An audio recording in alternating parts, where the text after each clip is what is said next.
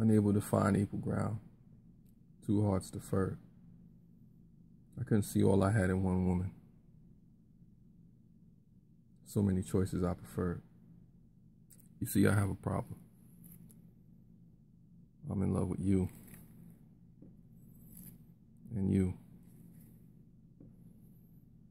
And her. But I have to be done with you. And you. To get through to her. One heart has become two because it's true that between you and you,